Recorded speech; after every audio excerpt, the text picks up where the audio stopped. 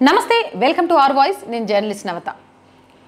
Uttar Pradesh CM Yogi Adityanath bulldozer Baba. భారతదేశ వ్యాప్తంగానే కాదు ప్రపంచ వ్యాప్తంగా కూడా ఎంతోమంది అభిమాన నాయకుడు. మోదీ తర్వాత భారతదేశంలో అత్యంత చరిష్మా ప్రజాదరణ కలిగిన నాయకుడిగా చాలా పోలింగుల్లో కూడా తర్వాత స్థానంలో మోడీ తర్వాత స్థానంలో నిలిచిన వ్యక్తి యోగి ఆదిత్యనాథ్. ఇక దేశవ్యాప్తంగా లోక్సభ ఎన్నికలు సమీపిస్తున్న వేళ ఆల్రెడీ రెండు విడతలు అయిపోయినాయి మిగిలిన విడతల్లో కూడా ఎన్నికలు జరుగుతున్న వేళ ఒక రాష్ట్ర నాయకులు ఇంకొక రాష్ట్రాల్లోకి వెళ్ళి ఎన్నికల ప్రచారం నిర్వహించడం తమ తమ పార్టీల తరపు నుంచి మామూలే. ఈ నేపథ్యంలో పశ్చిమ బెంగాల్లో అడుగుపెట్టారట యోగి ఆదిత్యనాథ్. యోగి ఆదిత్యనాథ్ పశ్చిమ బెంగాల్లో ఇలా అడుగు పెట్టగానే అక్కడ జన నీరాజనం చూసి టీఎంసీ ప్రభుత్వం షాక్ అయిందట. ఒక్కసారిగా బిత్తరపోయిందట. దీనికి సంబంధించిన ఒక ఆర్టికల్ని మేము ఉంచే ప్రయత్నం చేస్తాం. యోగి ఆదిత్యనాథ్ భారతదేశంలో ప్రధాని నరేంద్ర మోడీ తర్వాత ఆ స్థాయిలో పేరున్న నాయకులు. అయితే ప్రస్తుతం దేశంలో పార్లమెంట్ ఎన్నికలు జరుగుతున్న సంగతి తెలిసిందే.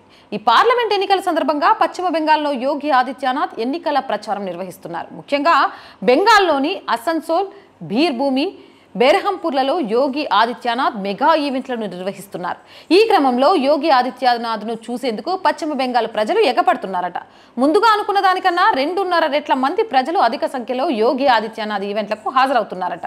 అందుకు తగ్గట్టుగానే యోగి ఆదిత్యనాథ్ కూడా బరువైన పదాలను ఉపయోగిస్తూ మమతా బెనర్జీ ప్రభుత్వాన్ని చీల్చి చెండాడుతున్నారట. దీంతో పశ్చిమ బెంగాల్లో బీజేపీ నాయకులు ఆనందం వ్యక్తం చేస్తుంటే టీఎంసీ నాయకులు ఆందోళనను వ్యక్తం చేస్తున్నారు. అభిమానం పైసలు వెంటే కొడితే రాదు.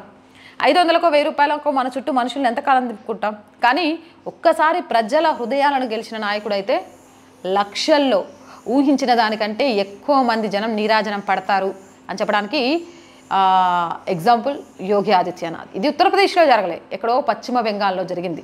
మనం చేసిన మంచి మనం ఎక్కడికి వెళ్ళినా మనకు రెస్పెక్ట్ని ఇస్తుంది వాల్యూని ఇస్తుంది నలుగురిలో మనల్ని ఒకరిగా చూపిస్తుంది. నలుగురిలో మేమొకరం కాదు నలుగురు కోసం మీరొకరు అనేలాగా నిలుపుద్ది.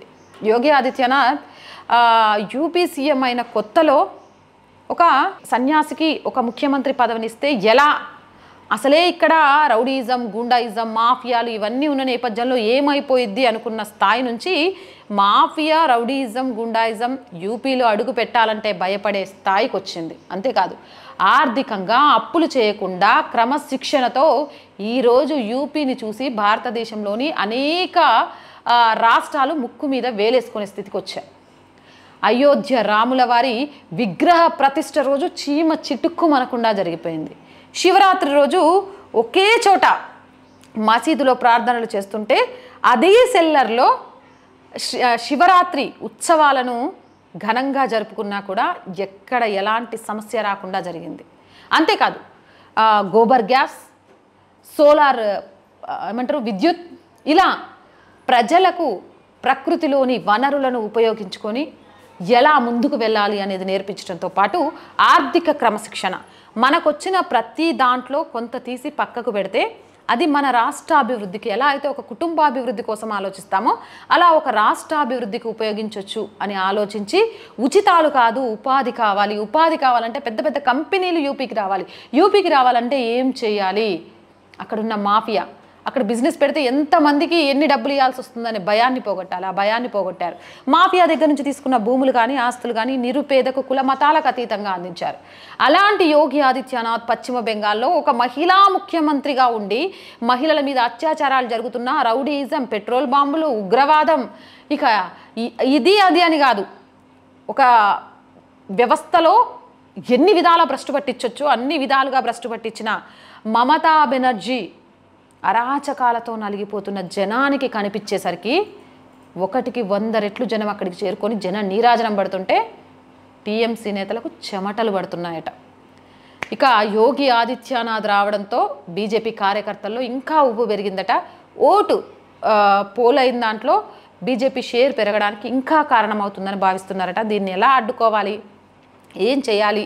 అర్థం కాక మమతా బెనర్జీ తల పట్టుకొని కూర్చుందట. పాపం తలకు దెబ్బ తాకిందేమో ఆ సెంటిమెంట్ వర్కౌట్ చేసుకుందాం అని చూసినా ఇగో ఈసారి నువ్వు ఫుల్ ఆన్ స్ట్రెచ్చర్ మీద పడ్డా నీ మీద సానుభూతి రాదు అని ప్రజలు అర్థమయ్యేలాగా చేసిండ్రు.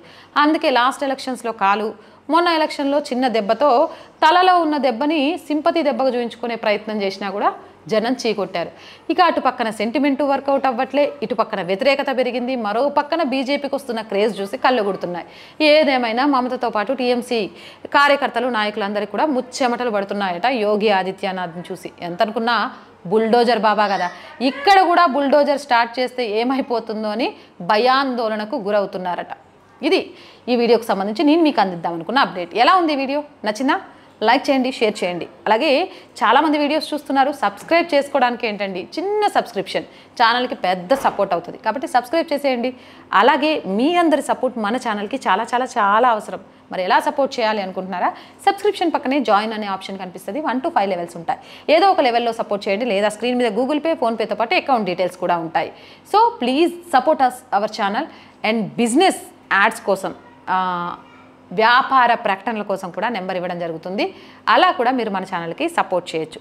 Please subscribe our channel and support our channel. జై భారత్.